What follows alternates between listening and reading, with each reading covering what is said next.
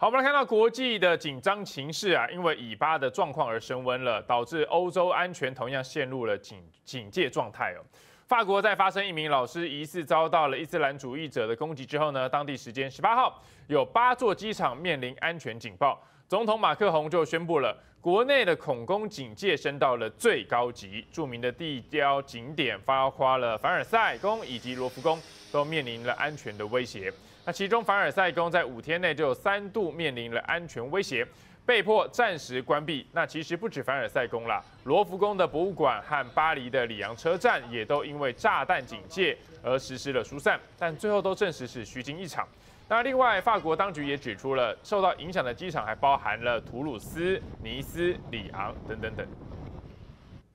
再来，我们的加萨走廊的医院呢，遭到了飞弹的袭击，造成了人死亡，有五百多人哦，目前超过五百多人的惨剧。那全球各地也发生了声援巴勒斯坦人的示威，那数以千计的群众在埃及首都开罗抗议，举着巴勒斯坦人受伤的照片，呼吁开放进入埃及的拉法通过禁点。那土耳其的群众则是在以色列领事馆外面和美国驻伊斯坦堡领事馆附近举行抗议。那纽约市立大学的教师以及学生也发起了示威，在帝国大厦外面抗议，要求解放巴勒斯坦人。连以色列的和平主义者呢，也在美国国会的殿堂内集结，要求停止对加萨走廊的种族灭绝行动，呼吁立刻停火。